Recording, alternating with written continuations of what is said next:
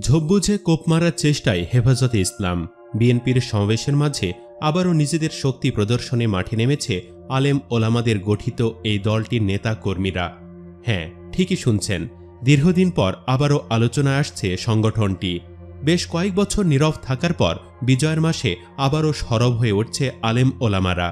আগামী সতেরো ডিসেম্বর গুলিস্তানের মহানগর নাট্যমঞ্চে ওলামা মাসায়ক সম্মেলনের ডাক দিয়েছে সংগঠনটি। হঠাৎ কেন এই সম্মেলন? উদ্দেশ্য কি? চলুন এই ভিডিওটিতে বিস্তারিত জানার চেষ্টা করা যাক। হঠাৎ উত্তপ্ত হয়ে উঠেছে দেশের রাজনৈতিক অঙ্গন। দশ ডিসেম্বর ঢাকায় বিএনপির মহাসমাবেশ। বসে নেই অন্যান্য দলগুলো।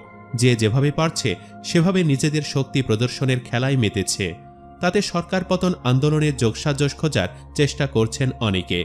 তবে হেফাজত নেতারা বলছেন কোনো রকম রাজনৈতিক উদ্দেশ্য নয়। তেরো দফা দাবি বাস্তবায়ন ও সারা দেশে কর্মী সমর্থকদের মনোবল চাঙ্গা করতেই এই সমাবেশ।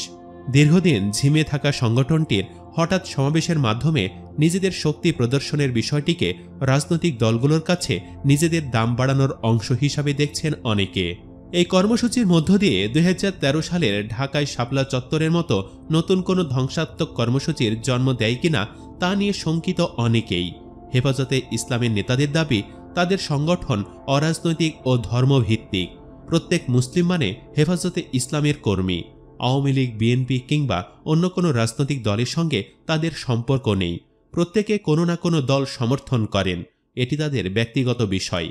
সমাবেশের মাধ্যমে সংগঠনের তেরো দফা দাবি বাস্তবায়ন এবং সংগঠনের নেতা কর্মীদের নামে করা মামলা প্রত্যাহারের দাবিতে এই আন্দোলন।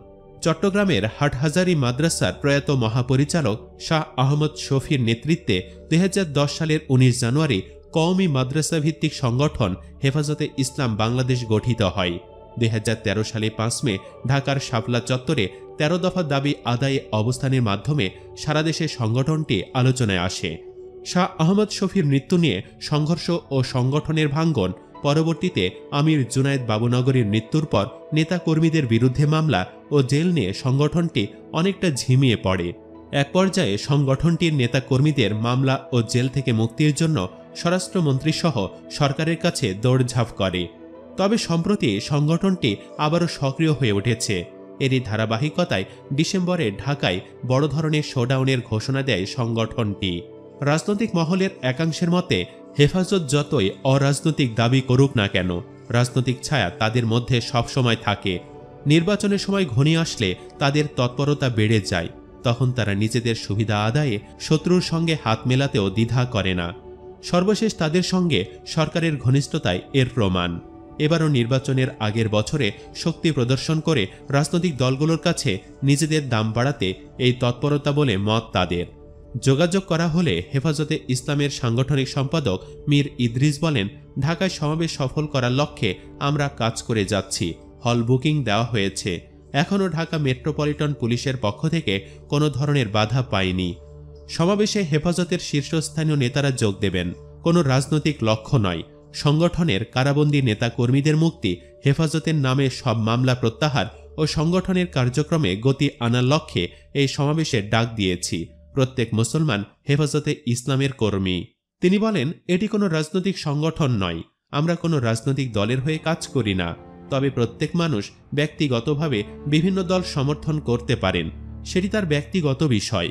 বাংলাদেশ ইসলামী ফ্রন্টের মহাসচিব স উম আব্দুস সামাদ বলেন, স্বাধীন দেশে যে কেউ সভা সমাবেশ করতে পারে, তবে সংগঠনটি অতীতে শাপলা চত্বরে সহিংসতা করেছে। এছাড়া তাদের বিরুদ্ধে জঙ্গিবাদেরও অভিযোগ রয়েছে।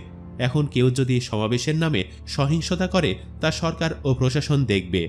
নামে অরাজনৈতিক হলেও নির্বাচনের আগে নিজেদের দাম বাড়ানোর জন্য এই সমাবেশ হেফাজতে ইসলামের। সম্মেলনে হেফাজতে ইসলামের আমির কি বার্তা দেবেন জানতে চাইলে মহিউদ্দিন রাব্বানি বলেন, কর্মসূচি ঘোষণা করা হয়েছে, কিন্তু অনেক মিটিং করে সিদ্ধান্ত নেওয়া হবে যে কি বার্তা উনি দেবেন। তবে অবশ্যই আমাদের কিছু দাবি থাকবে। সে বিষয়টি চূড়ান্ত হয়নি। ওই দিন কেন্দ্রীয় কমিটির মিটিংয়ে কর্মসূচি শুধু নির্ধারণ হয়েছে, আর কোনো আলোচনা হয়নি। ওই সম্মেলন থেকে কারারুদ্ধ আলেমদের মুক্তির বিষয়ে সরকারের কাছে দাবি করা হতে পারে বলে জানান তিনি। বলেন, আমাদের সব কর্মসূচিতে এই দাবিটি থাকে। দুই হাজার তেরো সাল থেকে সবার বিরুদ্ধে মামলা প্রত্যাহারের বিষয়টি থাকবে।